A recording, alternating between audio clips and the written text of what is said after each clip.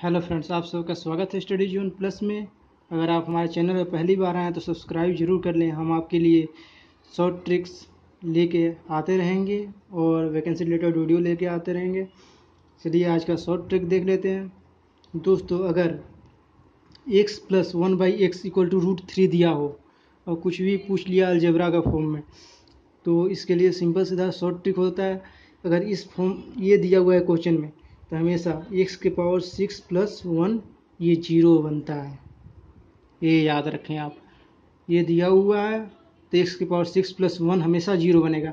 या क्वेश्चन में ये भी दे सकता है one plus one by x equal to का whole square equal to three ये भी क्वेश्चन में दे सकता है। तो इसके लिए हमेशा x square plus one equal to zero बनता ही बनता है। चलिए यहाँ पर देख रहे हैं सिक्स के फॉर्म में है। तो ये डायरेक्ट इसका आंसर हो जाएगा ज़ीरो ये ज़ीरो बन जाएगा और यहाँ से कॉमन लीजिएगा तो ये भी ज़ीरो बन जाएगा। ठीक है एक्स के पावर ट्वेल्व कॉमन लीजिएगा तो एक्स के पावर जैसे यहाँ पे एक्स के पावर ट्वेल्व कॉमन लिए तो एक्स के पावर सिक्स बच गया प्लस वन बच गया। यानी ये भी ज़ीरो हो गया और ये टर्म ज़ीरो ही हो गया। यानी टोटल इसका आंसर ज़ीरो आ जाएगा दोस्तों। ये एक सेकेंड में आप कोचिंग कर सकते हैं, देख देखते देखते।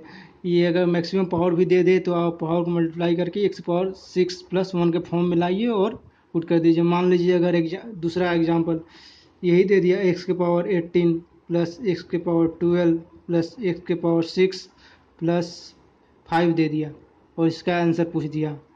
तो इसका डायरेक्ट आप देख रहे हैं वन के फॉर्म में इसके तोड़ तोड़ लेंगे, बाकी सब ज़ीरो बन जाएगा। यानी वन एक्स के पावर एट्टीन प्लस एक्स के पावर ट्वेल्व प्लस एक्स के power six plus one plus four कर लेंगे। तो ये तो ज़ीरो बन जाएगा। बाकी बच गया ये फोर। इसका आंसर हो जाएगा फोर।